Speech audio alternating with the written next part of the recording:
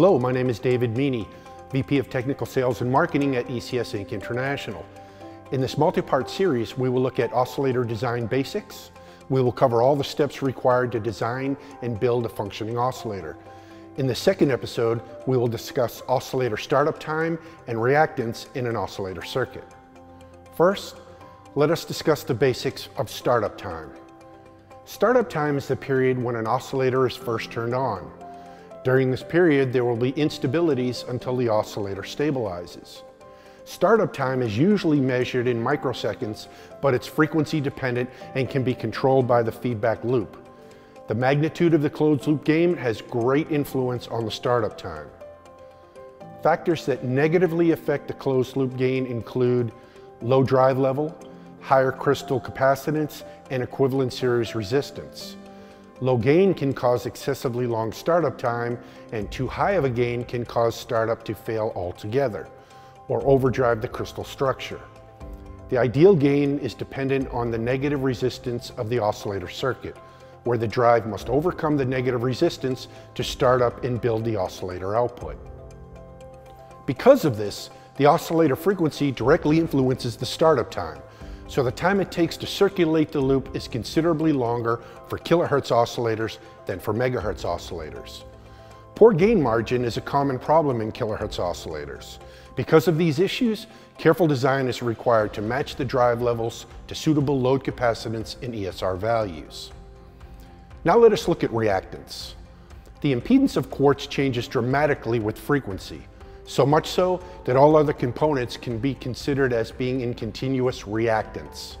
Consequently, when a crystal unit is used in the feedback loop of an oscillator, the frequency of the crystal unit will regulate itself so that it presents a reactance that satisfies the loop phase gain. An illustration of reactance versus frequency is shown.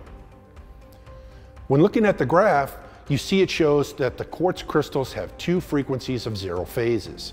The initial or lower of the two is the series resonant frequency, commonly abbreviated as f small s.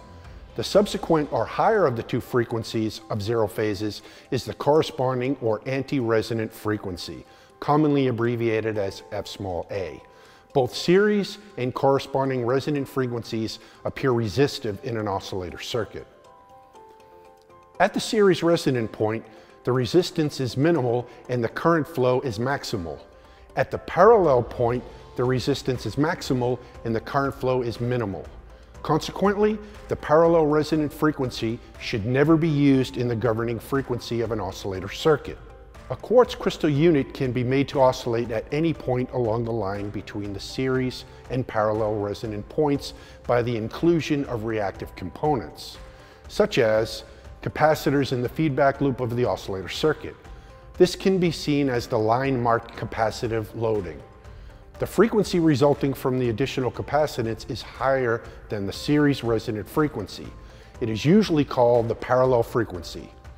However, it is lesser than the factual parallel frequency. Since there are two frequencies of zero phases associated with quartz crystal unit, there are two types of oscillator circuits. These circuits are defined by the types of crystals to be used. They are either series resonant or parallel resonant. Stay tuned for our videos on the differences in series and parallel oscillator circuit or visit us on the web at ecsxtal.com. Thank you.